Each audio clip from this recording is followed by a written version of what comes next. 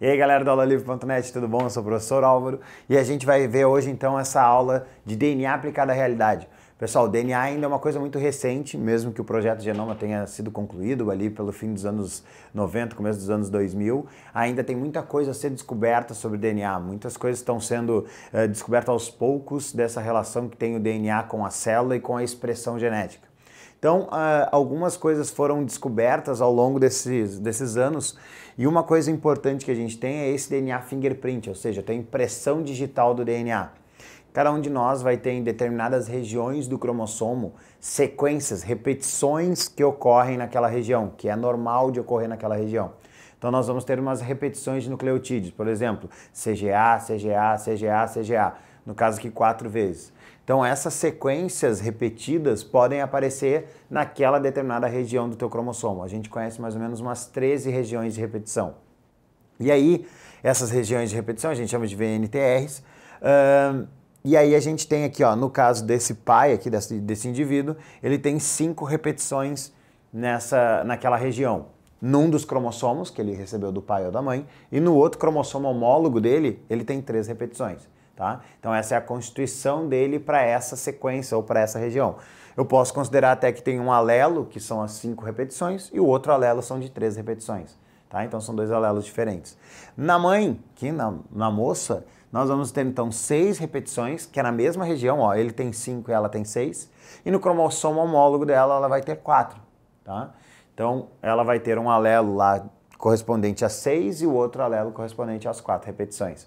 Beleza. E aí, como é que a gente vai ver isso nos filhos deles? Então, olha só. Cada um deles vai mandar, ou o pai vai mandar o 5 ou vai mandar o 3. Mais ou menos que nem a gente viu lá na genética, manda o azão ou manda o azinho. Ou ele vai mandar o 5 ou ele vai mandar o 3 para um dos filhos. E a mãe, ela vai mandar ou o 6 ou ela vai mandar o 4 para um dos filhos. Então aqui, ó, no nosso heredograma, o pai e a mãe, tá aqui o pai representado pelas repetições dele, ó, 5 e 3, e a mãe representado pelas repetições 6 e 4 como é que eu vou enxergar essas repetições? Isso é, é para a gente fazer, para a gente enxergar essas repetições ou a quantidade delas, como é que a gente faz? A gente faz um gel de eletroforese, onde a gente vai botar o DNA. A gente vai ter umas uh, coluninhas, uns box, onde tu vai colocar o DNA, tu vai botar ele diluído ali dentro. A gente vai colocar isso dentro de, um, de uma eletroforese, onde tem um líquido que tem um tampão, que a gente chama.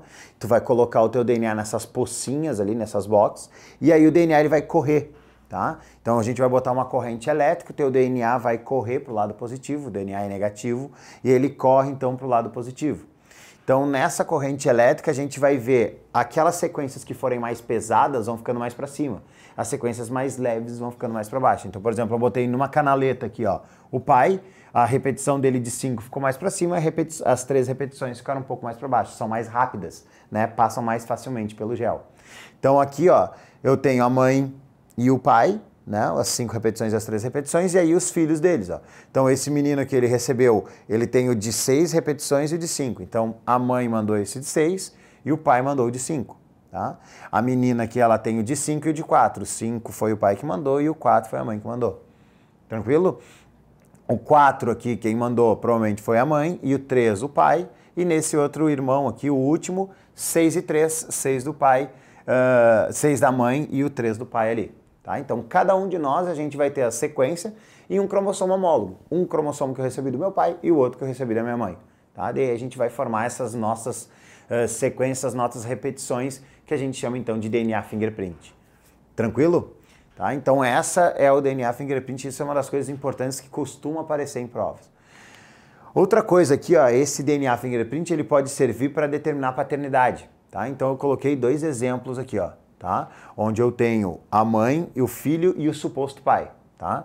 Então olha aqui, ó, a mãe tem uma sequência aqui e a outra sequência aqui. O filho não tem essa sequência aqui, tá?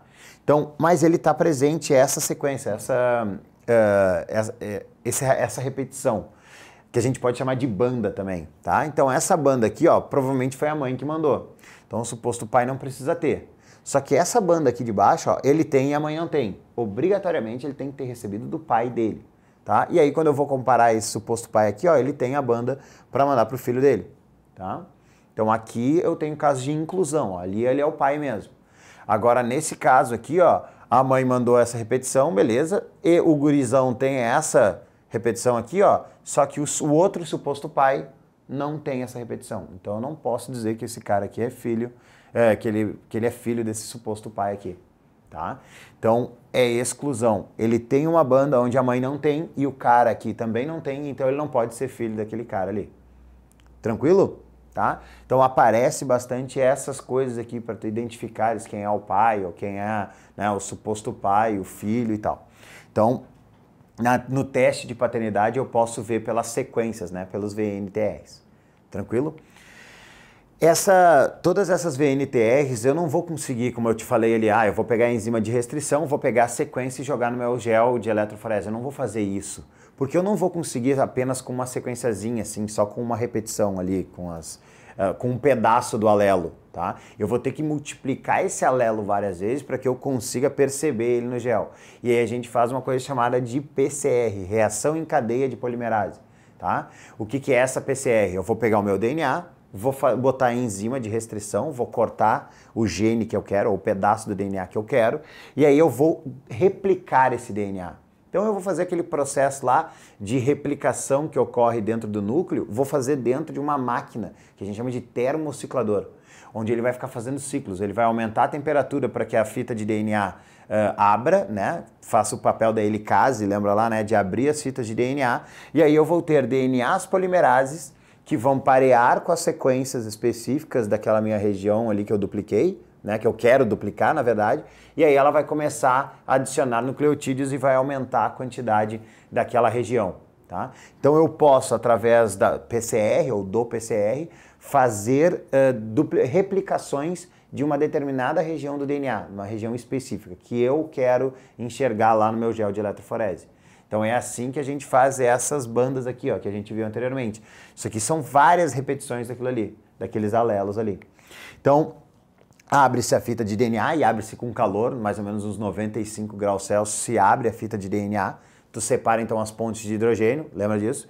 E aí tu vai ter ó, os iniciadores, tá? Que são primers que vão ficar ali paradinho, indicando a DNA polimerase que ele tem que começar a replicar o DNA por ali.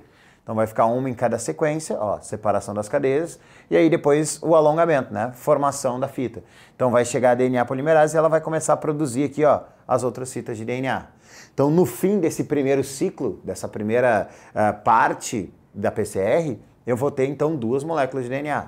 Então olha aqui, ó, dois pedacinhos. Ó. Eu comecei com a primeira, primeiro ciclo, vou ficar com duas. Agora no segundo ciclo, cada uma delas vai dar origem a duas. Vou ficar com uh, quatro, né? Ou oito cópias do, dos genes, né? Ó, uma, duas, três, quatro, cinco, seis, sete, oito. Ou cópias dos genes.